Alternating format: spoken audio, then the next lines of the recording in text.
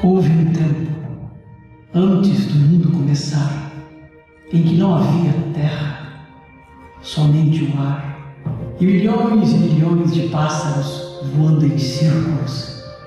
Não havia onde pousar. Um dia, algo raro aconteceu a uma gaivota. Seu pai morreu. Os pássaros ficaram desesperados, não sabiam o que fazer com o corpo. Não havia onde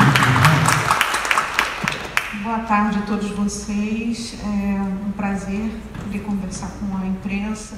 Eu comecei a perseguir alguma maneira de criar um espetáculo merliniano, que não fosse só o personagem, é, a existência do Merlin não estivesse só no personagem, mas no pensamento dramatúrgico, uma dramaturgia para Merlin. Só, só dizer que depois que, que eu contei para a Niera, que eu pensei na Vera, que eu chamei a Márcia, a, a, um, dois, três, a quarta pessoa que apareceu na minha vida foi Raul Seixas e que veio iluminar também, porque é, Raul é Merlin, Raul é Arthur. Vocês vão ver isso quando vocês assistirem a peça e vão sentir que eles falam todos a mesma linguagem. A gente leu todas as músicas do Raul, a gente leu, não só ouviu, que ouviu, a gente ouviu compulsivamente, né? mas a gente leu uma por uma, frase por frase, palavra por palavra, pelo menos três vezes. Eu não tenho medo de ser e nem de deixar de ser. Mudar não é o que me mata. Os vivos mudam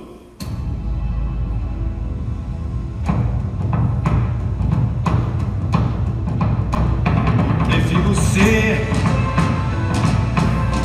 essa metamorfose ambulante. Eu prefiro ser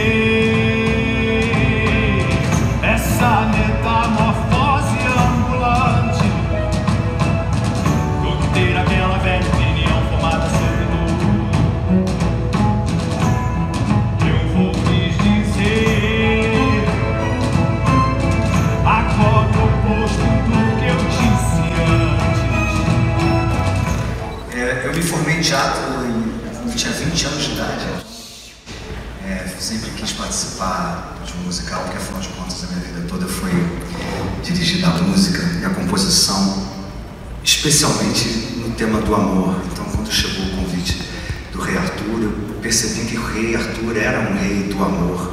E o texto da Márcia, ele é um texto sobre liberdade e amor.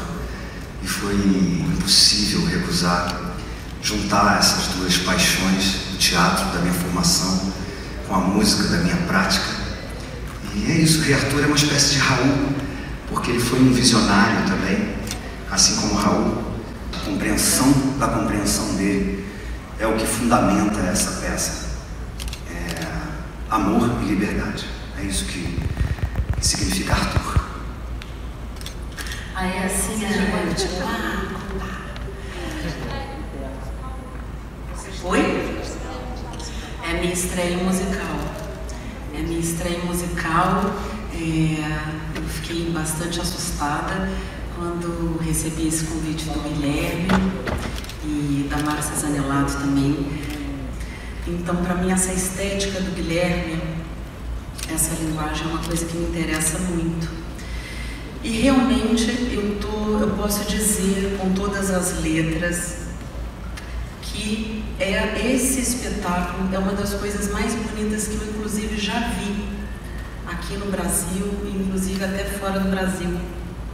Essa é a maravilhosa atriz musical, bicho de musical, monstro, Cacau. Ah!